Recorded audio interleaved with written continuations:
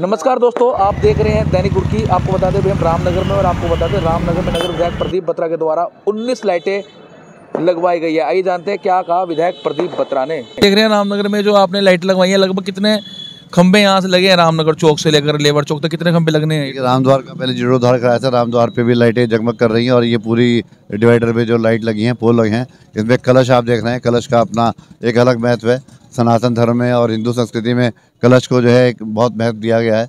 तो मैं सोचता हूँ कि ऐसी बीस लाइटें जो है यहाँ पर लग रही हैं इससे पूरा रामनगर की जो मेन रोड है वो जगमग करेगी। लगभग कितने की लागत से लगाई गई है सर ये पचास साठ लाख रुपए की लागत से काम हो है। पचास लाख।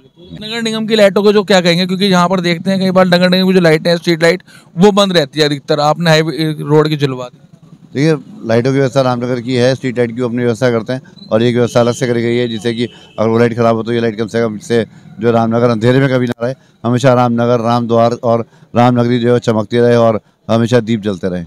ठीक है। तो लेकर क्या कहेंगे पंकज जी आप जो रामनगर में विधायक विधायक का दिल से आभार है और ये वाकई रामनगर के लिए बहुत बड़ी सौगात है। हम उनके ऋणी हैं और आजीवन उनके ऋणी रहेंगे। धन्यवाद। विधायक जी इसका भी कुछ जीर्णोद्धार यहाँ पर किया जा रहा है आज ये ब्यूटिफिकेशन कराया गया था हॉर्टिकल्चर था इसमें पेड़ नए लगाए जा रहे हैं और उसकी रेलिंग जो टूटी पड़ी इसको भी ठीक कराई जा रही है और लाइटिंग की व्यवस्था होगी।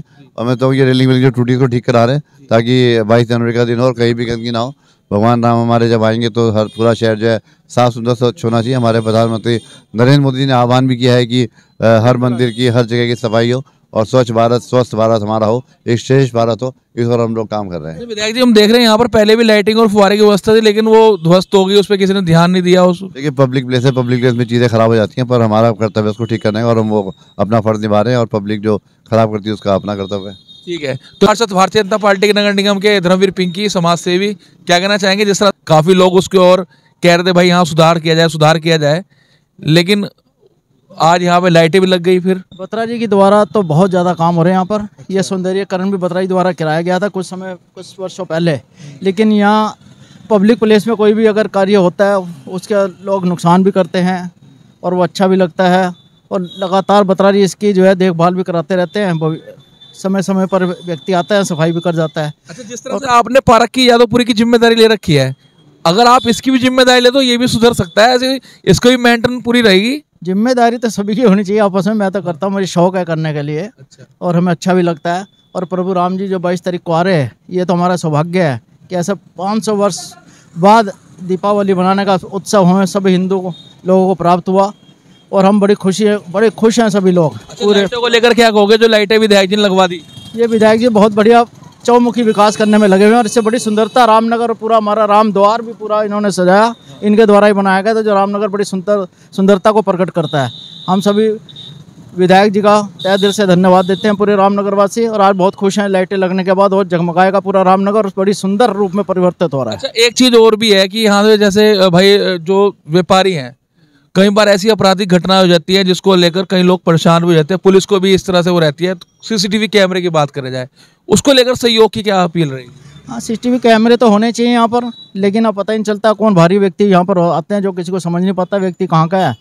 तो थोड़ा बहुत चलता ही रहता है तो विधायक जी से इस- इस चीज़ों के लिए पता नहीं करा आपने बात नहीं करी? नहीं बात करी है कोई नहीं कहते पूरा सहयोग रहेगा उनका। बस कहते ही हैं। नहीं कहते नहीं करते भी है ऐसा नहीं है। चलिए बोल रहे हैं, कहते नहीं, करते भी हैं। विधायक जी से पूछ लेते हैं, सीसीटीवी कैमरे को लेकर वो क्या कहना चाहते हैं? जैसे धर्मवीर पिंकी जी यहाँ से पार्षद भी हैं, उन्होंने बताया कि भाई के जो यादवपुरी पार्क है, उसकी देखरेख तो करते ही है। और जो आपने दोबारा सुधार का काम जो करा है ग्रीन सिटी क्लीन सिटी के नाम से जो पार्क आपने बना रखा है, उसका जिम्मा भी अगर आप इन्हें दे दो, कितना अच्छा रहेगा। ये तो पूरे शहर के मालिक हैं रामनगर के जिसमें क्या है तो सोशल वर्कर है, सेवा करते हैं और इनसे बड़ा सेवा कोई नहीं है। अच्छा दूसरी डिमांड रामनगर के व्यापारियों की छोटी सी रहती है कि जैसे वो तो सरकार का ही काम और आप सरकार के प्रति कर रहे हैं।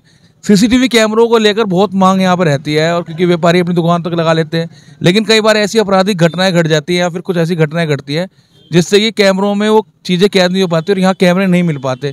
तो पहले भी अनुरोध किया था व्यापारियों ने कि कैमरों के लिए आपसे देखिए पुलिस विभाग द्वारा मीटिंग हुई थी उसमें सभी दुकानदारों को आग्रह किया गया था कि सभी लोग कैमरे लगाएँ और काफ़ी लोगों ने लगाए भी हैं जिससे कि अपराधी को पकड़ने में आसानी हो।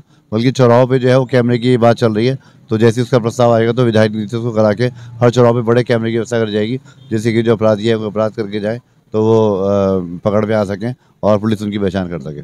ये कैमरे लगभग कब तक सर करवा देंगे प्रस्ताव बन के आएगा पुलिस का तो उसके बाद हम इसकी व्यवस्था कर देंगे।